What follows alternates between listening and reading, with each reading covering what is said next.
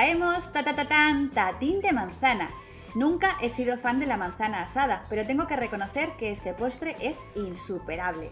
Necesitáis 5 manzanas. Vamos a pelarlas bien y después descorazonarlas, o sea, limpiarlo de dentro. Luego cortáis las manzanas a la mitad, luego la mitad de la mitad y por último la mitad de la mitad de la mitad, es decir, en cuartos, de forma que os salgan 8 trozos generosos de cada manzana. Ahora precalentad el horno a 200 grados, calor por arriba y por abajo. Mientras, en una sartén dejáis derretir 80 gramos de mantequilla y 100 de azúcar.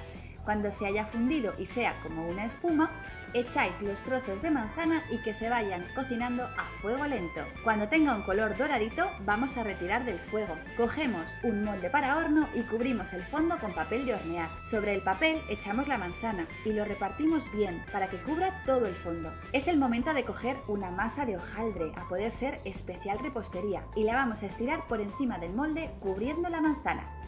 Dejamos caer el hojaldre para que toque con el fondo y colocamos los bordes que sobran hacia adentro para que quede todo plano.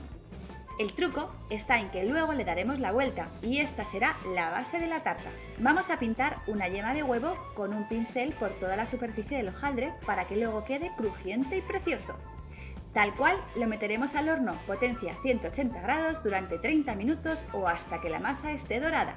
Cuando salga del horno tendrá un aspecto parecido a este, Desmoldáis, ponéis un plato por encima del hojaldre y con las dos manos dais la vuelta y voilà, ya está el tatín. Súper fácil, ¿verdad? Podéis echar azúcar glass por encima, se sirve calentita y con una bola de helado te entrarán ganas de llorar de alegría. Recuerda que una manzana al día te aleja del médico y esta es la excusa perfecta. No olvidéis suscribiros, espero que os guste y hasta la próxima.